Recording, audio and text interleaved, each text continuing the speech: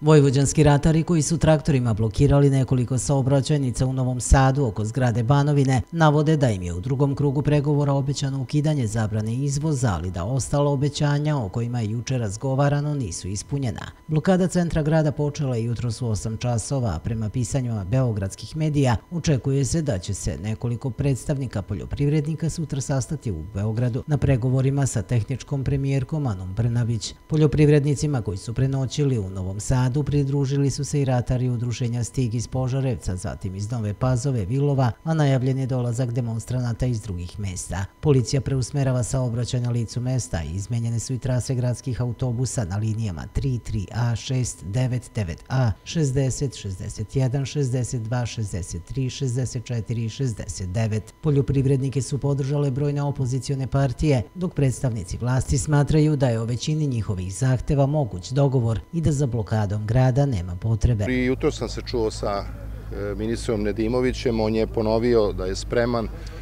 na krajnje konkretan način da izađe u susret e, svima koji su nezadovoljni. Vidim da se deo ljudi u centralnoj Srbiji već povukao sa određenih saobraćajnica i da su ušli u normalne razgovore sa e, ministrom i njegovim saradnicima. Očekujem da dakle, se jedan zaista E, deo zahteva ispuni.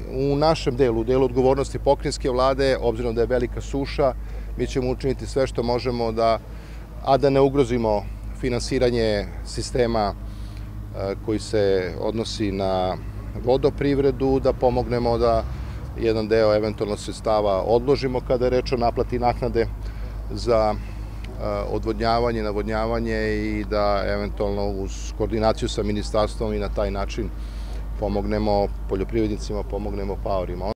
Tri osnovna zahteva poljoprivrednika su ukidanje zabrane izvoza za sve primarne poljoprivredne proizvode, stotinu litara goriva po hektaru bez akciza i subvencionisanje veštačkog džubriva, a traže i da budu poništene sve prijeve policije protiv učesnika u protestu.